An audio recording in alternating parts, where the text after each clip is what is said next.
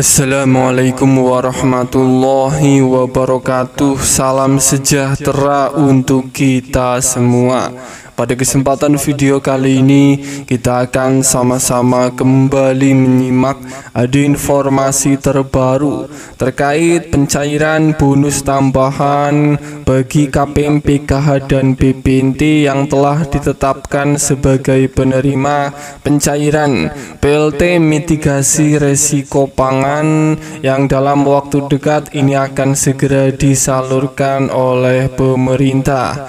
Perlu diketahui bersama, BLT mitigasi resiko pangan ini adalah sebuah program bantuan sosial dari pemerintah untuk mengurangi inflasi pangan.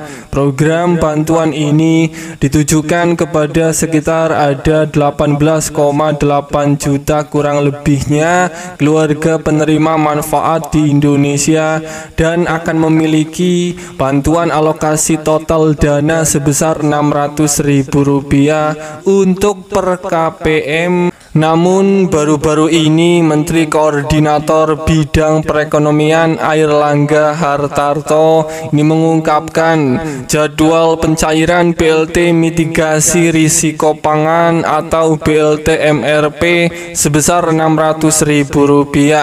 Informasi jadwal pencairan BLT MRP Rp600.000 ini telah disampaikan Air Langga Hartarto saat memberikan keterangan di sidang perselisihan hasil pemilihan umum atau PHPU yang dilaksanakan oleh Mahkamah Konstitusi atau MK beberapa waktu yang lalu.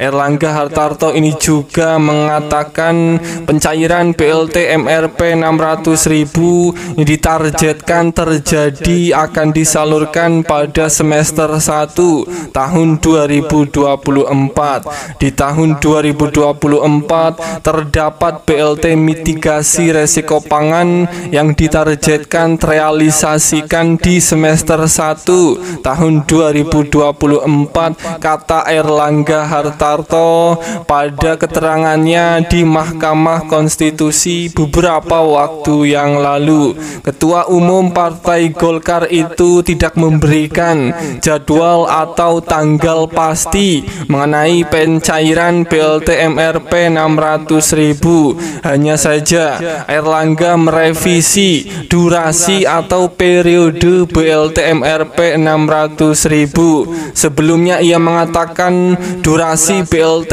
MRP 600 ribu adalah Januari, Februari, dan Maret tahun 2024 Kini durasi atau periode BLT MRP 600 ribu menjadi untuk periode bulan April April, Mei dan Juni tahun 2024. Dan di sini artinya bisa disimpulkan proses pencairannya dirubah periodenya atau disimpulkan diundur. Nah, merujuk pada pernyataan Air Langga di atas yang sudah disampaikan, maka jadwal pencairan BLT MRP 600.000 2024 secepat-cepatnya ini akan disalurkan adalah di bulan April hingga paling lama di bulan Juni tahun 2024 proses pencairannya.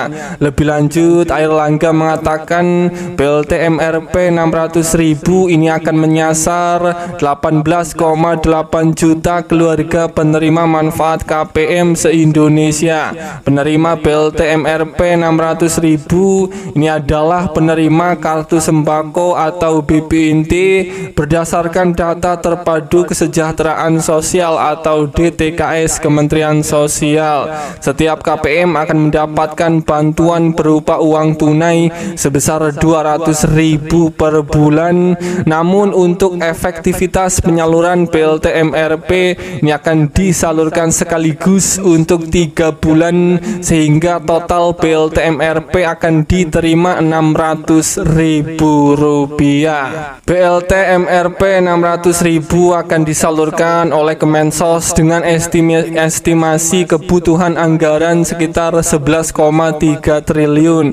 Erlangga juga mengatakan BLT MRP 600 ribu termasuk dalam program perlindungan sosial atau perlinsos pada kondisi tertentu. Dan berikut ada hasil cek saldo pencairan BLT MRP 600.000 di bulan April ini Saldonya masih kosong, masih nol, belum ada tanda-tanda pencairan. Para KPM yang masih menunggu harap bisa bersabar. Bantuan pasti akan cair nanti akan indah pada waktunya. Semoga ini bermanfaat. Sampai ketemu di berita lainnya.